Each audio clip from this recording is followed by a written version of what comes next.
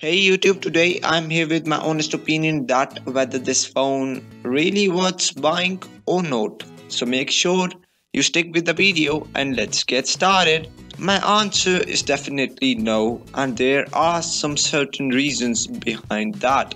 First of all, the performance of this phone is quite unsatisfactory.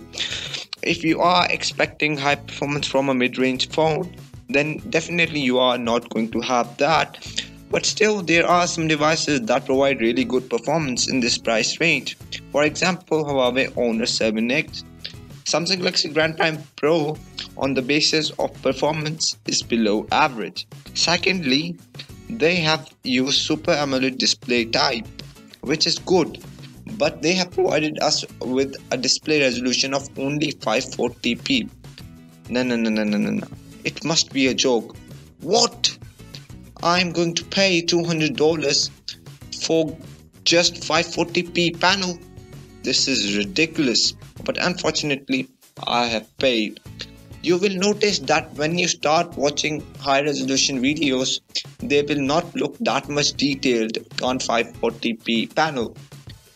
Thirdly, there is no always always on feature which is almost included in every phone that has Super AMOLED display type released by Samsung. This is a bit disappointing too.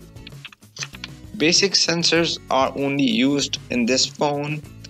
Only accelerometer and proximity sensors you find in this phone and this is again ridiculous. At least you should give a bit more sensors but only two sensors are included in this phone.